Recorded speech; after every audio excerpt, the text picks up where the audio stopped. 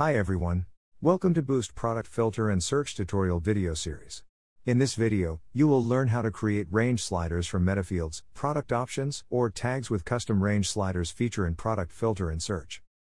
Range slider is a useful feature in UI UX design, which allows users select a single value between two range values. This pattern enables the adjustment of content within a predetermined range.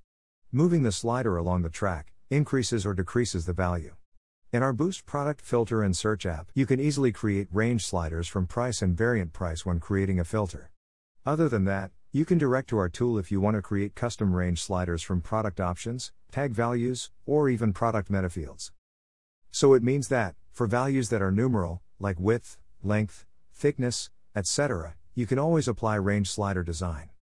To achieve this, we need to walk through two stages. One is to define the data type for the custom range slider you want to create from, and then create the custom range sliders filter option.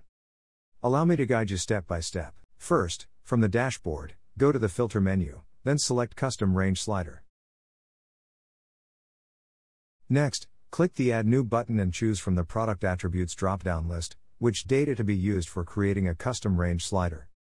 It could be product options, such as option color, option size, option material, etc., tag, or metafield.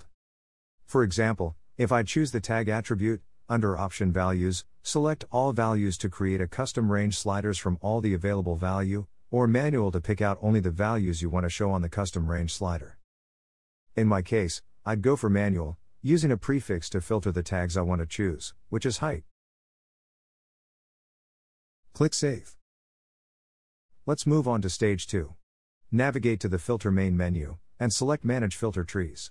In the preferred filter tree, choose the custom range slider you created in stage 1. In our example, we create a new filter tree, applying only to shoes and sandals collections. Then click Add Filter option. In the option type, choose the custom range slider one you've just created.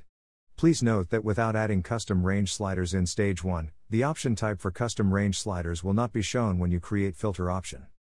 Under the option label, name your custom range slider filter option. Here, we name it height. Then, customize your range slider to make it user friendly. Slider range is the number of ranges separated on the slider. Slider step is to specify the size of each movement, or an increment between values. Delimiter is the character used as the thousand separator. In this example, we leave the delimiter empty, because our values are all smaller than 1000. Here is a quick note. The numbers shown in the preview are not exact and only serves display purposes. You can also give your slider some tweaks with the advanced settings. Finally, click Save, and now you successfully create a custom range slider filter option. Thanks for your watching. Reach us at our email displayed on the screen if you need any further assistance. Don't forget to subscribe to our channels, or follow us on our social platforms for more updates.